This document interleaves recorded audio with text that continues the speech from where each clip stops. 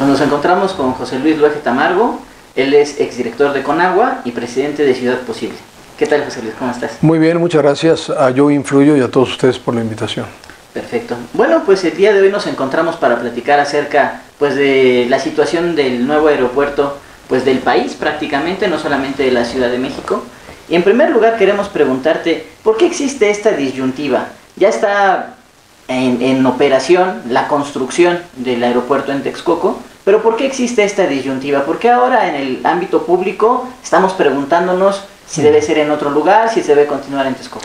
Pues mira, la disyuntiva se, se origina por una mala decisión realmente la ubicación del nuevo aeropuerto en la zona federal de lo que fue el lago de Texcoco eh, significa para muchos un grave error que puede tener consecuencias muy serias para el futuro de la ciudad. En mi caso, como director de la Comisión Nacional del Agua, que es el organismo que administra la zona federal del lago de Texcoco, siempre di mis observaciones sobre los riesgos que hay de utilizar esa zona para una construcción de ese tipo. Por dos razones básicamente. Bueno, por varias. Voy a mencionar tres la zona federal del lago de Texcoco corresponde a una zona de rescate ambiental que se determinó en un programa nacional federal en 1971. Mediante decreto presidencial, en aquel entonces presidente de la República Echeverría, Luis Echeverría, emitió el decreto Plan Lago de Texcoco, que lo que buscaba el Plan Lago de Texcoco era la recuperación ecológica de la zona, de lo que quedaba de lo que fue el Gran Lago de Texcoco. Estamos sobre la superficie del Gran Lago de Texcoco, la Ciudad de México, pero siempre quedó una zona inundada muy importante desde el punto de vista ambiental, que era, digamos, el vaso final del lago de Texcoco, que por decisiones verdaderamente absurdas e ilógicas se determinó eh, de secar para ocupar y para otros usos, ¿no? Y entonces, eh, este plan de rescate ambiental eh, contemplaba la construcción de lagos y lagunas artificiales, tanto de regulación hidrológica para cuando hay tormentas, como también de captación de agua de los ríos del oriente que, descargaban agua más o menos limpia en temporada de lluvias. ¿no? Entonces eso te permitiría tener depósitos de agua para luego potabilizar y usar. ¿no? Pero también implicó muchas obras de rescate y muchas obras hidrológicas. Bueno, esa zona está sujeta a dos fenómenos que a mí me parecen de muy alto riesgo. Uno, Ahí confluyen prácticamente todos los drenajes de la ciudad. El 90% de los desagües de aguas negras llegan a ese punto, a la zona federal del lago de Texcoco, y se canalizan a través de un canal que se conoce como Dren General del Valle, que va eh, convergente con el Gran Canal del Desagüe. Y esa es la salida hacia el norte, de, hacia la cuenca de Tula, ¿no? de, las aguas negras de la ciudad. Primer problema. Segundo problema, esa zona sufre hundimientos que son quizá el fenómeno más grave a nivel mundial, porque están registrados hundimientos entre 20 y 40 centímetros por año. Bueno, esas dos condiciones ponen en riesgo no solo el aeropuerto en sí, sino a toda la zona conurbada, a lo que es, el, lo, que es la zona federal del lago de Texcoco. Por ejemplo, el polígono del aeropuerto, que ocupa el centro de la zona federal, está eh, rodeado por Ecatepec, Nezahualcóyotl, una parte de la Gustavo Madero, y al sur está eh, el municipio de Chimalhuacán. Por esa razón, la ubicación en ese punto de esta infraestructura, desde mi punto de vista, que coincide con el de otros técnicos especializados, es un grave error. Eso es lo que ha generado, no una disyuntiva de ahorita. Yo, por ejemplo, hace seis años presenté una objeción técnica sólida, siendo director de la Comisión Nacional del Agua. Yo eh, presenté un estudio no realizado por mí, sino por el, cuerpo técnico del organismo de cuenca del Valle de México, que es el organismo de la Conagua responsable de la zona federal. Y ese documento técnico con datos eh, duros concluye la incompatibilidad de la construcción del aeropuerto en la zona federal. Entonces, el problema viene de una decisión equivocada de origen que puede tener consecuencias muy graves por lo que ya mencioné. Ciertamente, en este momento, pues es un dilema. Es una disyuntiva en la que yo no quisiera estar, porque yo mantuve esta posición hace seis años antes del inicio. Hoy presenta un avance impresionante la obra. Hablan de un 30%, hablan de una inversión comprometida de, más de 130 mil millones. Entonces, claro, la decisión de abandonar la obra implica la pérdida económica de lo ya invertido, probablemente penalizaciones muy graves, Y luego la remediación de lo ya hecho, eh, lo construido, porque no puedes dejar eso ahí tirado, tendría que limpiarse, a lo mejor no todo, pero sí, digamos, una buena parte, ¿no? Ese costo económico nadie lo ha evaluado. ¿Cuáles serían los riesgos concretos de construir el, aeropuerto en el lado de, Texcoco? ¿Podría eh, inundarse el aeropuerto? ¿Podrían eh, eh, hundirse las pistas, podría inundarse la ciudad por no tener ese vaso regulador? ¿Cuáles serían? Básicamente el riesgo que yo he, manejado con mayor este, seriedad es el hidrológico, es decir, el riesgo de inundación de toda la zona aledaña al nuevo aeropuerto. El nuevo aeropuerto no, porque lógicamente van a hacer una obra de infraestructura de drenaje muy importante para desalojar las aguas de lluvia en el polígono del aeropuerto, pero no es el aeropuerto lo que me preocupa.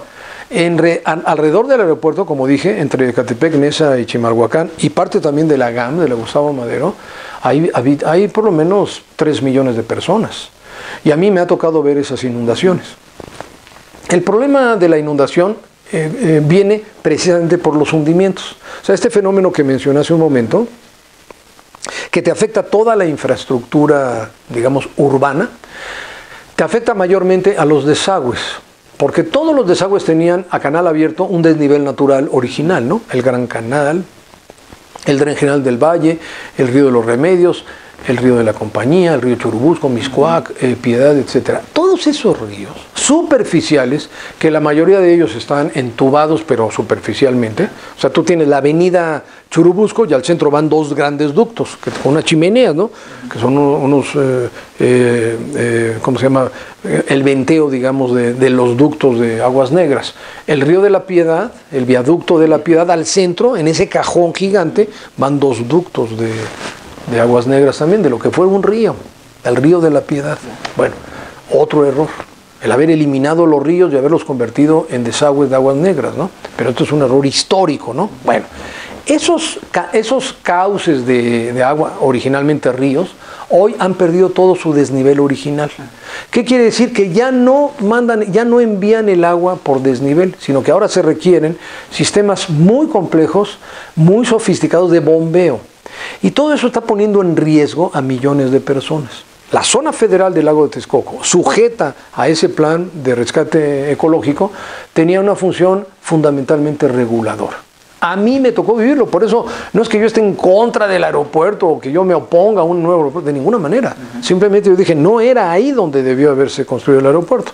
Entonces a mí me tocó, siendo director de la Comisión Nacional del Agua en el 2011, que tuvimos muchos problemas de huracanes en todo el sexenio anterior, una tormenta tropical que se llamó Arlén en julio del 2011, en los últimos días de julio. Fue una lluvia impresionante, mucho más de lo que hemos tenido estos días en la Ciudad de México. ¿no? Bueno, esa lluvia, eh, esa tormenta tropical que ni siquiera llegó a ser un huracán, chocó con la sierra en Puebla y luego se nos vino al Valle de México una, una lluvia eh, extraordinaria y se inundó prácticamente toda la ciudad. Bueno, en esa ocasión, deliberadamente inundamos una zona de la zona federal que normalmente no se inundaba. Y gracias a ello evitamos un daño mayor de inundación en Ecatepec. Pero aún así, muchísimas colonias de Ecatepec y Nezahualcóyotl se inundaron todas. Ahora, estas inundaciones no son como en Veracruz o Tabasco de agua corriente del río, no, son aguas negras. Sí, es agua de lluvia, pero mayormente mezclada con aguas negras. Y no hay un desastre mayor para una familia que tener un metro de agua negra, aguas negras, dentro de tu casa. Eso es una cosa inimaginable para quienes no hemos sufrido ese tipo de desastre. ¿no? Por esa razón, a mí me parece que fue una decisión completamente atropellada. Es una decisión política porque le interesaba al presidente Peña Nieto. Es una decisión de un grupo político muy corrupto, que es el grupo Atlacomulco, en donde además del aeropuerto, de las obras en sí mismas, están asociadas otras obras que no conocemos de desarrollo futuro inmobiliario. ¿Por qué? Pues porque he sabido que ha habido adquisiciones de, miles y miles de hectáreas en toda la zona oriente del Valle de México, o sea, al oriente de lo que es lo que va a ser el aeropuerto, y que va a generar eso otro problema. Entonces, cuando yo estudié la manifestación de impacto ambiental, cuando ya se aprobó el proyecto, la manifestación de impacto ambiental no, no menciona el plan Lago de Texcoco, ni lo menciona. No menciona que la orientación de las pistas son, al ser norte-sur, distinto al proyecto del 2000 del presidente Fox, que las pistas van en, orientación noreste-suroeste, paralelas al actual aeropuerto y paralelas a la pista militar de Santa Lucía.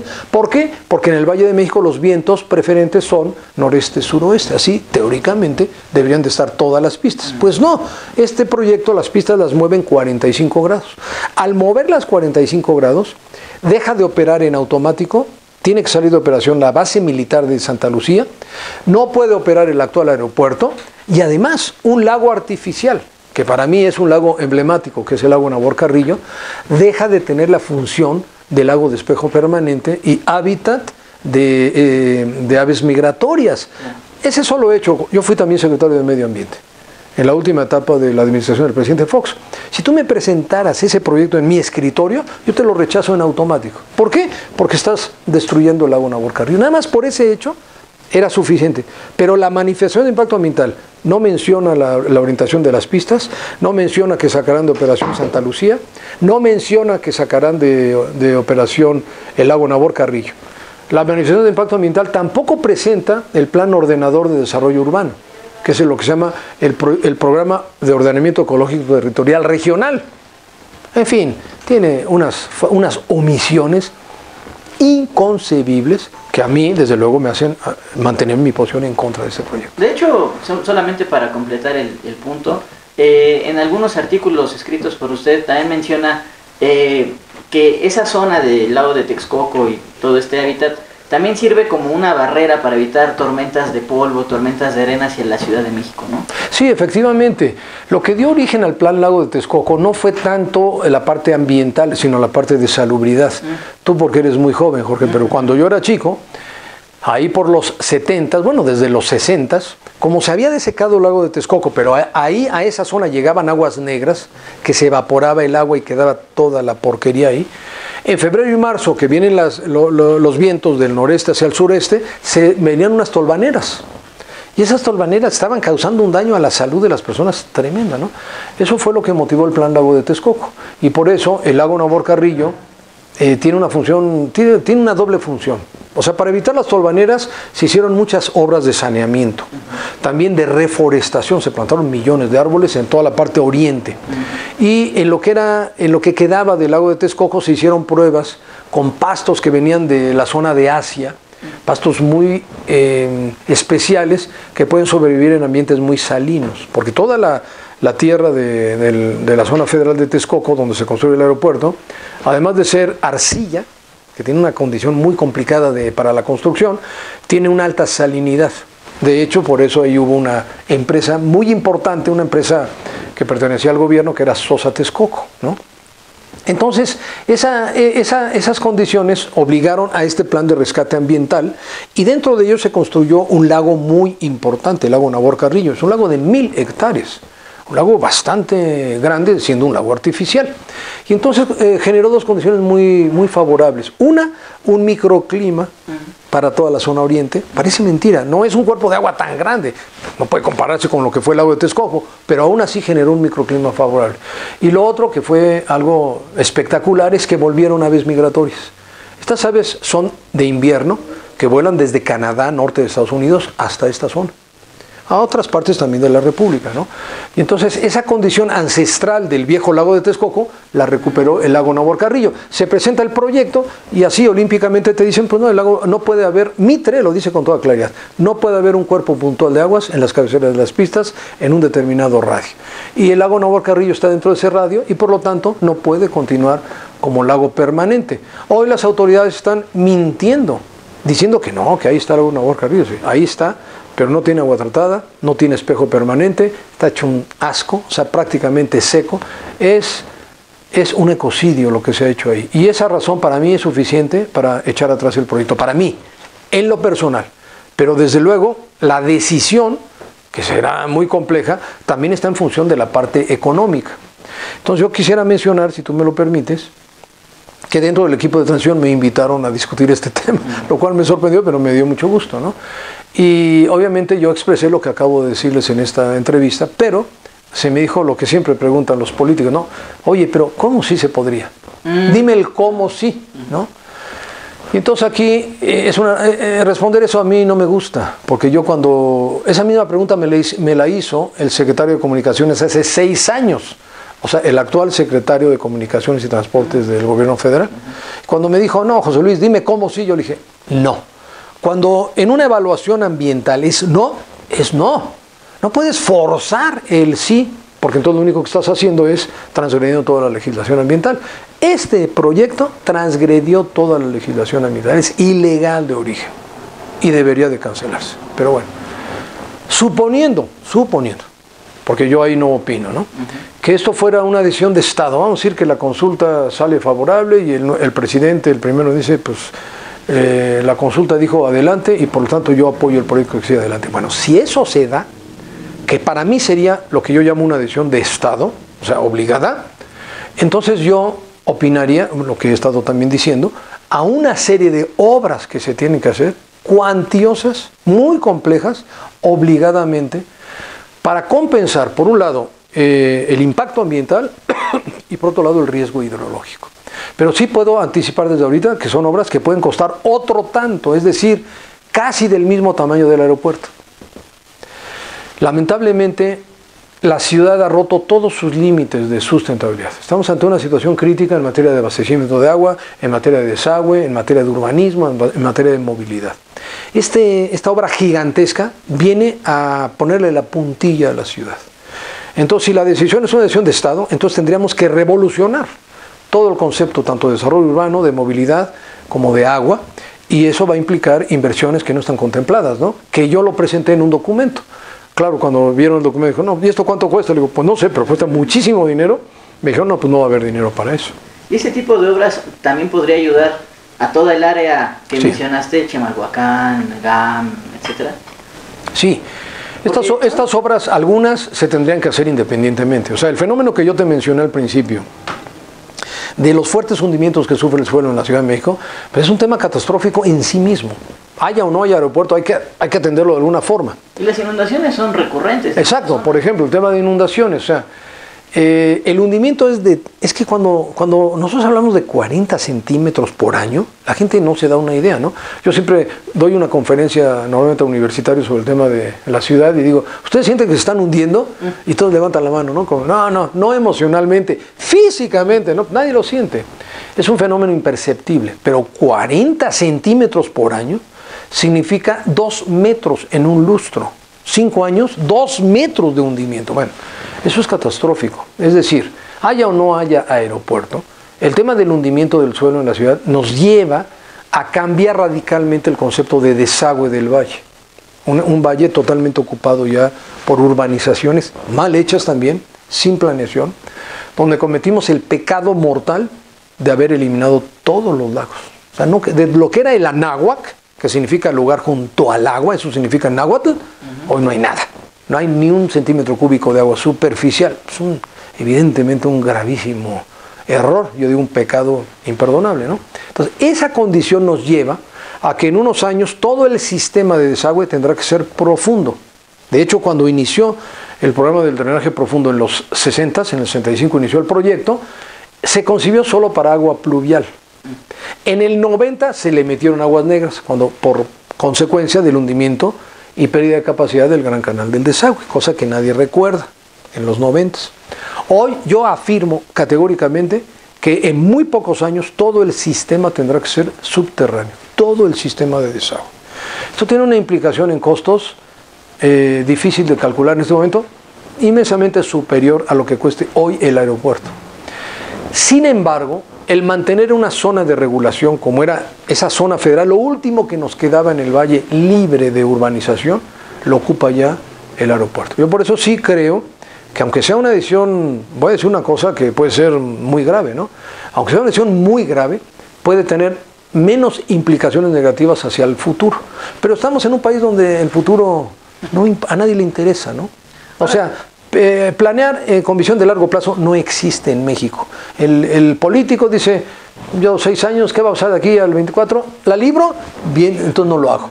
Cuando en realidad deberíamos estar haciendo obras con visión de, del 2050, ahorita en la ciudad. De hecho, esa es la, la siguiente pregunta. El aeropuerto está en la capital, desgraciadamente porque vivimos mucho centralismo, pero sí es un aeropuerto que es importante para el país, no solamente para la, para la Ciudad de México. Es una realidad que está saturado y que existen muchas objeciones sobre Texcoco. Pero sobre el hecho de Santa Lucía, que es la otra opción, pues realmente no hay demasiados, demasiados estudios. No sé cuál sería tu, tu opinión sobre esta opción que está sobre la mesa. Yo nunca, nunca opiné eh, sobre Santa Lucía porque yo no conocí nunca el proyecto de Santa Lucía. A mí me tocó un debate muy serio hace seis años sobre Tizayuca, porque Tizayuca, como lo comenté, era un proyecto, proyecto en forma, o sea, hecho profesionalmente y un proyecto que sí competía efectivamente con Texcoco. Claro, siempre viene la objeción de la distancia, pero hoy en día, en el mundo entero, hay muchos aeropuertos internacionales a más de 60 kilómetros de la capital. Tizayuca está a 65 kilómetros. El problema no es la distancia, el tema es la velocidad, o más bien el, el tema es el tiempo. ¿no? ¿Cómo se resuelve en Europa y, en, y, en, Norteamérica el tema de, del tiempo? simplemente con, con, un sistema de transporte moderno. Entonces Tizayuca contemplaba un tren rápido y una autopista dedicada, lo cual hubiera sido muy bueno, además de un polo de desarrollo distinto, que para mí era muy importante. Yo apoyé por eso Tizayuca. Eh, Santa Lucía, ni se me hubiera ocurrido presentarle el proyecto al, al general secretario. Te saca la 45 en el momento, porque Santa Lucía es la base número uno, la base aérea militar más importante del país. Nunca estuvo, que yo recuerde, ni en el, la administración de Fox, ni en la administración de Calderón, el tema de Santa Lucía. Nunca. Hay un viejo proyecto de Zumpango que lo sacaron allá en tiempos de López Portillo, que nunca prosperó tampoco. Hoy toda esa zona está urbanizada. Santa Lucía también está ya mega urbanizada a los alrededores de la base militar, ¿no? Eh, pero la consulta presenta para mí una ventaja, que son tres aeropuertos. Es decir, que un manejo más metropolitano, más regional, que es llevar Toluca a un aeropuerto internacional, no provincial como es actualmente, con dos pistas, modernizado, conectado con el tren a Toluca, pero que vaya no a Metepec, sino directamente al aeropuerto. El, aeropuerto de Santa Lucía convertido completamente en aeropuerto civil, es decir, la base militar tendría que irse a Zapopan o a otra base militar, y modernizar el actual aeropuerto. Esa configuración, a mí en lo personal, sin ser experto, a mí me gusta más. Porque digo, yo he tenido la fortuna de conocer otros, otras ciudades en el mundo. Y cualquier ciudad importante en el mundo tiene dos o tres aeropuertos. Es una mentira de que hay que ir a, a, a, en México tendemos a ir al gigantismo, ¿no? Ah, tienes un aeropuerto pequeño, quítalo y pon uno más grande. Ahora quita este y pon uno. Eso no existe en el mundo. Los viejos aeropuertos, salvo excepciones que, que no pueden seguir operando, en general se modernizan los viejos aeropuertos y construyes un aeropuerto adicional. Nueva York tiene tres aeropuertos. Y si vas a alguna ciudad importante de los Estados Unidos, tienen dos aeropuertos o hasta tres. Entonces, me parece un error estratégico es depender de un solo aeropuerto. Es, mi, es, una opinión de alguien que no es experto en aeronáutica, ¿no? Pero desde el punto de vista de ambiental e hidrológico, sí creo que estamos en un problema. También otra de las objeciones sobre este sistema metropolitano de aeropuertos es que quizás es muy corto el tiempo para llegar a la saturación. Desgraciadamente ese es el gran problema que tiene el aeropuerto actual, que es, es tanta la demanda que ha llegado a esta, a esta saturación. Entonces, eh, si nos pudiera durar 5 o 6 años este modelo, quizás no fuera suficiente a, a pensar en eso, eso afirman eh, muchos especialistas y yo no te podría dar toda la respuesta, ¿no? Lo que sí te puedo decir es lo que yo conocí siendo miembro del gabinete de infraestructura del presidente Calderón, cuando se tomó la decisión efectivamente del plan regional, que fue ya una decisión formal del gabinete de infraestructura. Yo fui efectivamente parte eh, con mis argumentos de no ir por la opción de Texcoco, sino por la opción de Tizayuca. Cuando se descartó Tizayuca, el gobierno federal de Calderón tomó la decisión de un sistema regional. Bueno, Toluca, con una sola pista, tiene una capacidad de 8 millones. El, nuestro aeropuerto está rondando los 47, 48 millones de pasajeros al año. Bueno, si tú sumaras eh, eh, Toluca en su capacidad, de, digamos, de diseño, tendrías 47, 48 más 8, o sea, tendrías 56, ¿no? ¿Cuántos, ¿Cuánto creen ustedes que maneja hoy Toluca? Punto 7, 700 mil pasajeros. ¿Por qué? Porque se había tomado la decisión de que nuevas líneas aéreas operaran en Toluca y luego vinieron las presiones políticas, la quiebra de Mexicana y se regresaron. Por eso Toluca está subutilizado. En general, Toluca tú lo puedes llevar a... Si lo llevas a dos pistas y modernizas Toluca, entonces vas a tener un aeropuerto de probablemente de 20 millones. Entonces ya, ya cambia mucho el tema de, vuelos, ¿no? Ahora, tampoco se puede pensar, como aquí dicen, que el nuevo aeropuerto va a llegar a... La, segunda etapa nunca la van a construir, porque nadie ha presentado el proyecto de la segunda etapa. Yo creo que no existe, ¿no? Entonces, en realidad, este proyecto eh, tiene detrás de sí un gran engaño. Porque fíjate tú, el actual aeropuerto tiene dos terminales y dos pistas. La base militar tiene una terminal y una pista. Eso lo va, va a dejar de operar. O sea, tres pistas y tres terminales las vas a cambiar por una terminal y tres pistas. Entonces, a ver, a ver, ¿cómo está esta inversión, no? Todo lo que estamos haciendo y todo lo que estamos gastando para quedar igual, a mí me parece que hay un gran engaño en esto, ¿no?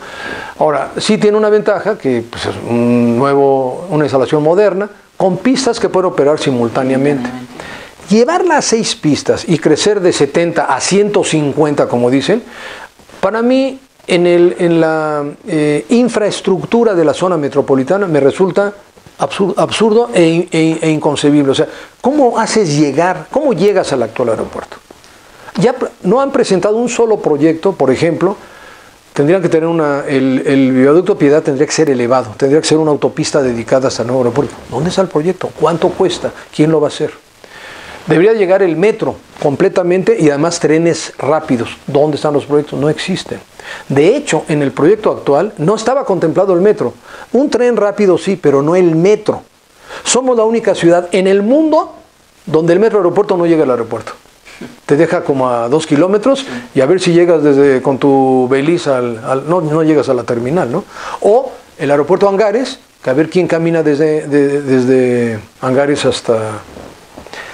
Realmente es un proyecto hecho sobre las rodillas, muy mal concebido. Creo que es un problema en general que tienen, creo que todos los proyectos, tanto el de Texcoco como evidentemente el de Santa Lucía, como el Santa Lucía no tiene proyecto, tiene razón en eso, ahí no hay proyecto. Es la cuestión también de las de las obras alternas, claro, las llegadas, claro, las salidas, claro. del sistema hidrológico. Claro. Creo que eh, son proyectos incompletos en general. Total, desde el punto de vista de, de movilidad, que lo acabas de mencionar muy bien, es si tú vas a hacer el doble en automático, porque vas a pasar de, vamos a decir, de 47 a 70 millones de pasajeros al año, estás casi duplicando la capacidad.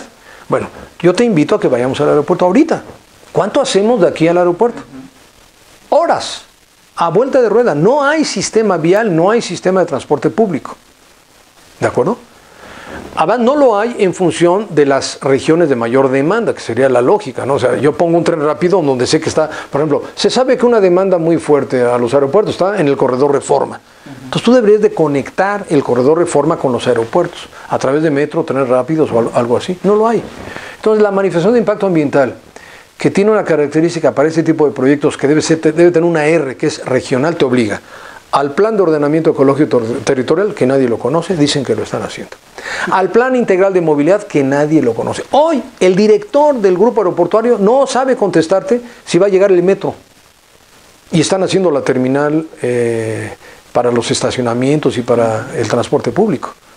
Entonces, a un aeropuerto de este nivel, igual que Toluca, igual que cualquier aeropuerto, el metro, los trenes eh, interurbanos deben de llegar a la zona de documentación. O sea, si yo tomo el metro en reforma, yo debo estar abajo de la zona de documentación, subo unas escaleras y documento. Así es, en todo el mundo. Pues no lo tienen así concebido tampoco. De hecho, por ejemplo, el de Toluca, ¿no? El, el tren que no va dirigido al aeropuerto, aunque esté subutilizado, un absurdo. sería una parada. No, no, lógica. era obligado ir a. No, estos son caprichos de la actual administración de Peña Nieto. Yo, te, yo, yo, estuve en el gabinete de infraestructura donde se aprobó el programa regional de aeropuertos. Ahí estuve yo. Y yo estuve cuando se discutió el tema del tren a Toluca. Y el tren a Toluca tendría que ir al aeropuerto. Absolutamente. O sea, y además el tren a Toluca tendría que ir, como dije hace un momento, de donde tiene la mayor demanda de vuelos, del corredor Reforma. Reforma Santa Fe. Entonces, si tú conectas el metro, puede ser observatorio, luego Santa Fe y luego aeropuerto.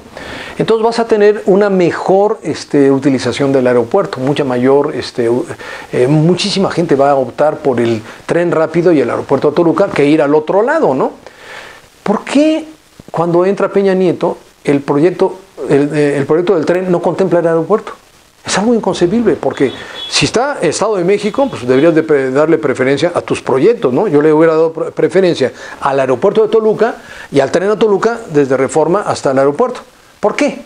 Porque el interés económico de ese grupo solo está en Texcoco. Ahí están sus intereses. Y de hecho, eh, eh, pasamos también a este tema de la economía. Eh, Mientras más nos demoremos en tomar las decisiones, más competitividad perdemos. Claro. Eh, hay un estudio del IMCO en el que se menciona que ellos, bueno, Perú y Panamá tomaron decisiones antes que nosotros. Cuando nosotros estábamos discutiendo el primer proyecto de Tizayuca, de Texcoco, etcétera, pues ellos ya estaban en la modernización. Y ahora Panamá es un gran polo de conectividad que hemos perdido, ¿no? Y ahora pues estamos todavía para preguntarle a la gente, ¿no? Entonces, ¿cuál es tu opinión acerca pues de las demoras que ya llevan años, no meses? Bueno, primero eh, las demoras porque siempre están sujetas a vaivenes electorales y políticos, lo cual está muy mal. O sea, somos un país que no tiene visión de largo plazo. Nuestra cartera de proyectos siempre debe estar 30 años adelante. Cuando vivíamos en el PRI gobierno, en el viejo sistema, muy corrupto, pero no tanto como el, como el que estamos terminando, el sistema operaba de una manera, digamos, muy homogénea, ¿no? a mí me tocó conocer la capacidad de ingeniería de la SCT, de recursos hidráulicos, de la Comisión Federal, mil veces superior a lo que tenemos hoy. Y por otro lado, las grandes empresas pues, estaban totalmente alineadas. ICA, por ejemplo, tenía toda la cartera de proyectos. Hoy no hay cartera de proyectos. Es un problema muy grave que hay que recuperar la ingeniería de la infraestructura del país y proyectarla muchos años adelante. Ahí, ahí deben intervenir las universidades, las grandes empresas y el gobierno federal, ¿no? Y los gobiernos estatales también. Yo creo que es un problema eh, muy fuerte, ¿no? El otro tema son los intereses de grupo. O sea, ¿por qué se hizo Texcoco? Si se supone que Tizayuca pues, tenía todo el grupo Hidalgo, todos los argumentos a favor, ¿no? Y Texcoco siempre tuvo estas, estas que yo, que yo he estado peleando. ¿Por qué? Y me lo contestó un hidalguense, no voy a decir nombres para no meterme en broncas, muy importante, muy vinculado al proyecto de Tizayuca, me dice, pues muy sencillo, porque el presidente es del Estado de México. Y entonces dicen, pues como está en Texcoco, es Estado de México. Pues no es cierto. La zona federal de, del lago de Texcoco no es Estado de México, aunque se enojen los del Estado de México, es zona federal. Pertenece a todo el país, pertenece a la nación, así está en la Constitución, es una zona federal. ¿no? Entonces, eh, se hace ese aeropuerto por interés y por capricho de una persona. Ahora, el tema de la consulta, pues es, un, pues es una cuestión muy, muy engañosa, ¿no? Porque tú debes de consultar, informando previamente y suficientemente a los más afectados, previo a. O sea, hay que consultar antes de empezar. Y ahorita dices consultar, cuando yo llevo ya este avance, pues como que no suena lógico, ¿no? Pero bueno, a mí sí me interesa el debate. Mucha gente está ahorita arriba del debate, pero no dijeron hace seis años. Yo por lo menos he mantenido consistentemente mi posición y mi preocupación, no por una posición personal, porque estoy preocupado por el futuro de la ciudad. Pues, de frente, ¿qué tenemos? Si hay una cancelación, eh, prefiero el mismo estudio, se pagaría 42% del costo del aeropuerto solo en la cancelación, que equivaldría entre 100 mil millones, 120 mil millones, entre, entre esos rangos. Eh, si se optara por el proyecto, que ni siquiera hay proyecto de Santa Lucía, sería empezar de cero. Si, se si es el sistema metropolitano, tenemos pocos años para llegar a, a una supuesta saturación. ¿Qué opciones verías tú en, este? Pues mira, e, efectivamente la decisión de la consulta, que ya dijo el presidente electo que va a ser vinculante, lo cual quiere decir que, si, que lo que resuelva esa consulta, eso va a ser. Ahora, es una consulta que no tiene el rigor, digamos, de, de un metodológico. democrático, porque en primer lugar no sabe ni siquiera ni quién lo organiza, ni quién lo va a vigilar, cuántas papeletas va a haber. Ya dijeron que si un día ven que faltan papeletas, van a imprimir más, pues eso no tiene ninguna seguridad, ¿no? Independientemente de ese método, que desde luego yo no lo apruebo, va a haber una decisión. Bueno, si la decisión es abandonar Texcoco, es una decisión muy dura, hay las pérdidas que tú bien dices, efectivamente, pero además tienes que vas, a enfrentarte a penalizaciones internacionales y te vas a enfrentar a costos de remediación, porque lo que ahí se hizo hay que remediarlo. A lo mejor, a lo mejor no quitas todo, pero tienes que quitar al menos lo, que objetaría el plan original Lago de Texcoco. Yo me apuntaría para el plan Lago de Texcoco, obviamente.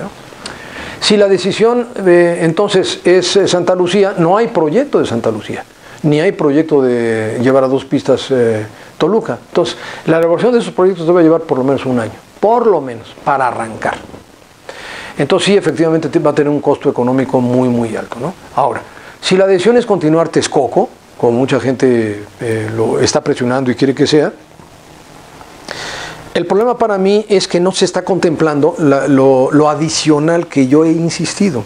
Es decir, todas las obras de mitigación ambiental y todas las obras de mitigación hidrológica o de de riesgo hidrológico no están contempladas. Sí están haciendo algunas obras, pero no las obras que deben de, contemplarse. ¿no?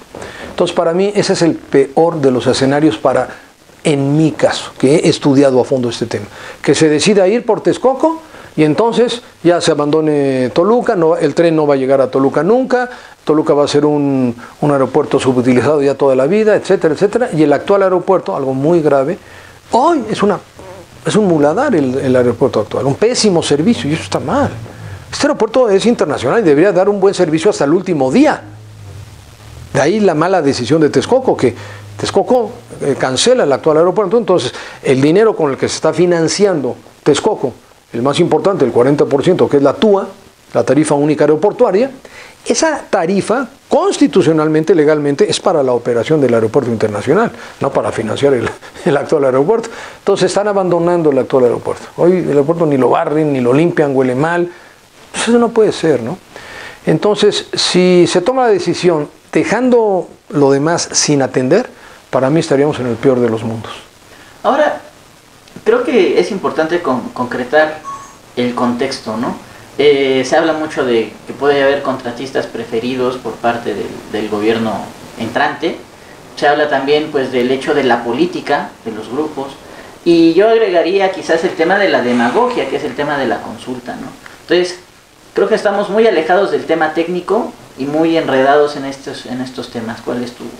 Mira, si la decisión es continuar, la posición de mi asociación y que la trataré de acompañar de un de un grupo tanto de técnicos como de asociaciones importantes es presionar para las obras de mitigación y de prevención de riesgos que se deben de hacer en paralelo al, actual aeropuerto. Y ahí había obras para, hasta para aventar para arriba. El problema es cómo financias estas obras, pero se pueden encontrar esquemas también de financiamiento y entonces habría mucha obra de infraestructura, muchos empleos y en paralelo podríamos avanzar en la economía del país.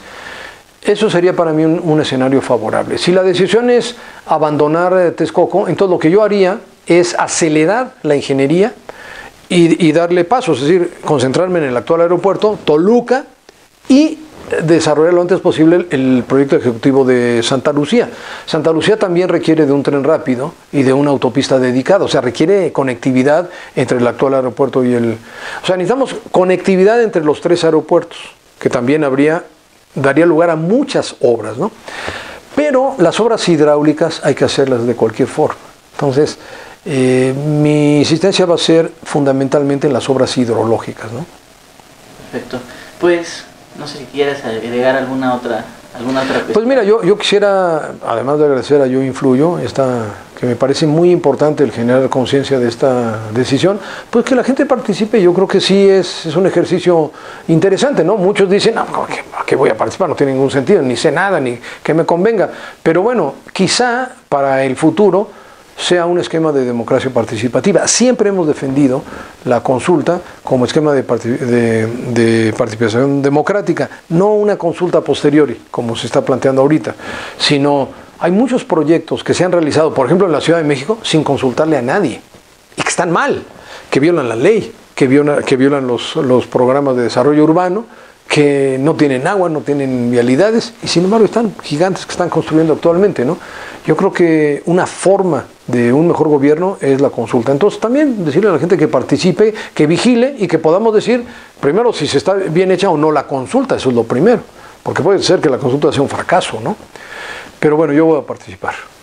Yo recuerdo con este comentario que dices que había una campaña política más o menos reciente que decía decidamos juntos y creo que nunca decidimos juntos. No, nunca, no, no, no, no efectivamente, ¿no? No, tú eliges a un gobierno para que el gobierno tome las decisiones administrativas, pero hay ciertas obras de infraestructura que sí requieren la consulta, obliga, ¿no? Obliga por ley, pero esa consulta tiene que hacerse bien, con, mucha con mucho tiempo y con mucha ampliación y con mucha información, que es lo que no hay en esta consulta. Perfecto. Pues muchas gracias a ustedes.